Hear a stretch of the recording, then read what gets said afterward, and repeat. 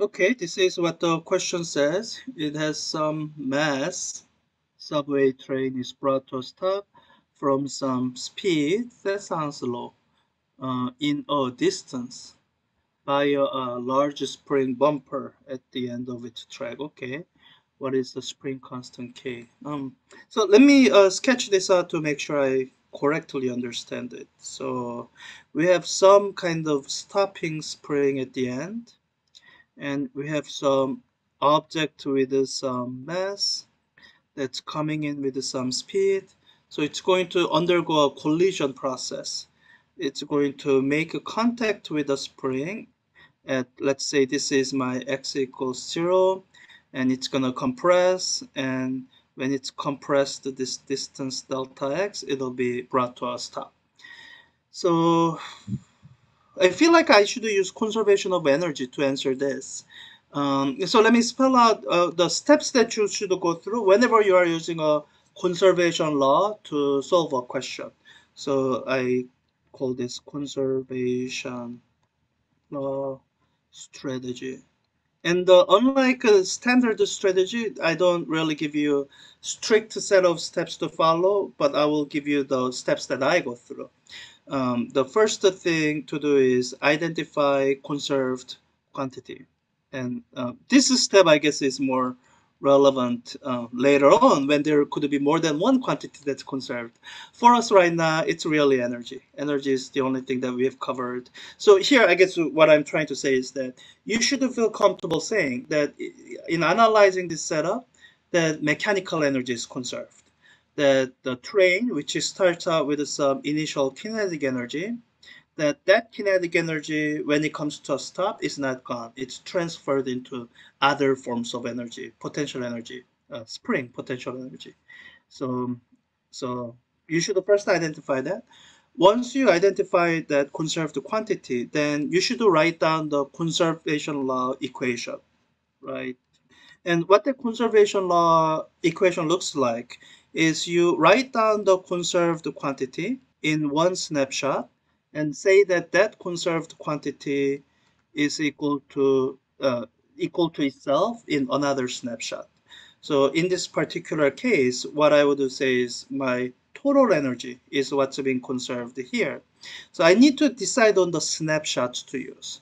I'm going to say my snapshot one is this position here where it has all the kinetic energy and none of the none of the potential energy. And snapshot 2 is here where the train has been brought to a stop and there's a maximum amount of spring potential energy.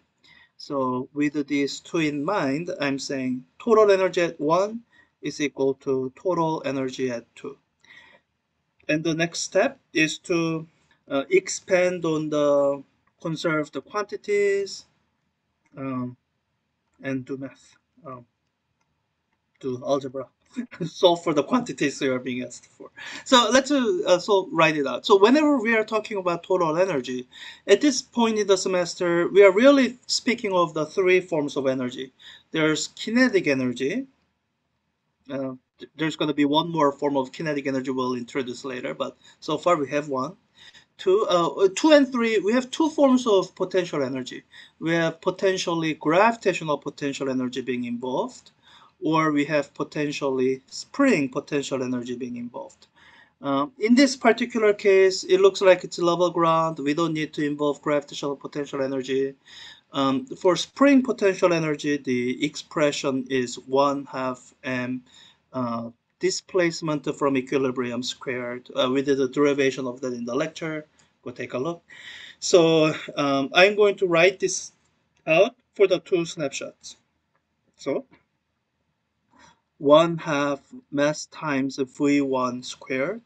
Uh, let me call this V1 plus, and when I say 1 half m uh, x squared, this is going to be 0 because at the initial stage, uh, snapshot one is where spring hasn't compressed at all. So this will be zero. In snapshot two, the thing has come to stop. So if I write down one half mv2 squared, really this will just be zero because the train has come to a stop. And we have plus one half, uh, not m, sorry, this should have been k. yeah, sorry. Um, this should have been K. Too many M's and not enough practice writing K's. Uh, 1 half K times, now this is where the displacement matters, delta X squared. And I we have the displacement there. Okay, I think it gives us a fairly simple expression. 1 half mv1 squared is equal to 1 half k delta x squared. Okay, for the rest of the algebra, let me be just a little bit lazy and just use computer algebra system. I mean, uh, you know, I don't have to be lazy. I can actually do this by hand. It's not difficult algebra, but hey, uh, I have computer algebra system. Let's use it because we can. Uh, okay, so let me um, enter the equation. So I need uh, to define v1, k, and delta x. Uh, so with those variables, my equation is 1 half times mass times v1 squared is equal to 1 half times k times delta x squared. Okay, that looks about right. Um, so I say solve this equation for the spring constant k. Let's see what it gives us. Oh yeah, there it is. Okay, so just the one first element, so that's gonna be my solution. Um, let's plug in the numbers. I have mass of, oh yeah, pretty high. Uh, 2 times 10 to the power of 5 kilogram basic SI units, speed of 0.5 meter per second, um, and displacement of uh, 0.8 meter. Uh, look at that all the quantities. So spring constant, wow, that's pretty high. Uh, 78,125 Newton per meter. That's probably right. Um, 78,125. Yeah. Good. Um, so fairly easy energy conservation question. Uh, it does involve spring potential energy.